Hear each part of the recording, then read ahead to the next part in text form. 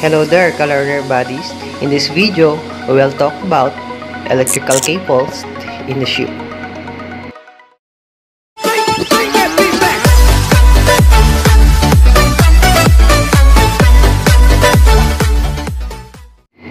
Ship's wiring cables color body have to withstand a wide variety of environmental conditions.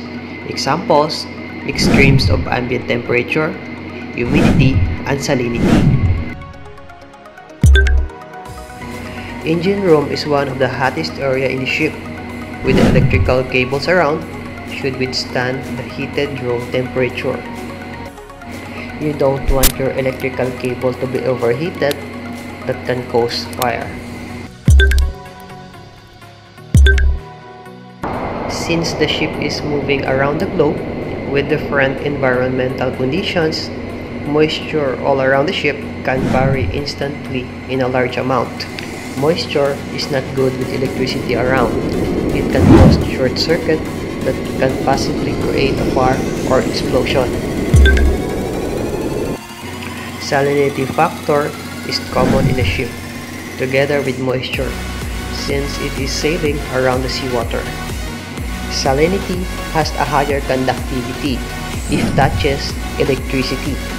It will allow it to flow that can cause electrocution or explosion on higher voltages.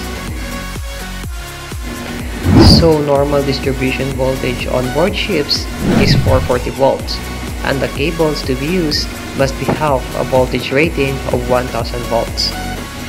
The percentage of voltage drop at the end of the wire run on board ships is suggested at 3% maximum voltage drop to panels and switchboards. 10% voltage drop for general lighting and other non-critical circuits. The following tables I will show you is the conductor reference table where you can see the different sizes of cables, ampacity, and its application. This is for a single conductor rated at 105 degrees Celsius.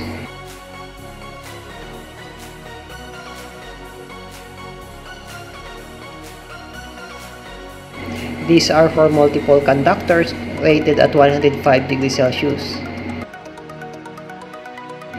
And that's it for now, Kalearner Buddy.